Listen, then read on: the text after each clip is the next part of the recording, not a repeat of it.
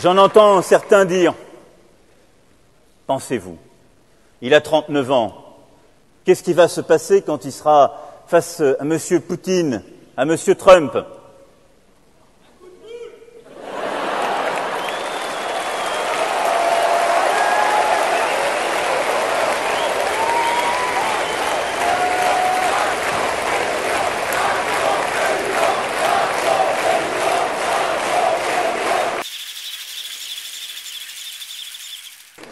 Non, je prône,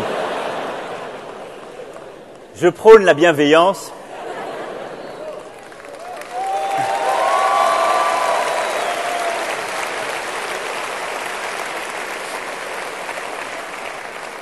Je crois dans les vertus de la diplomatie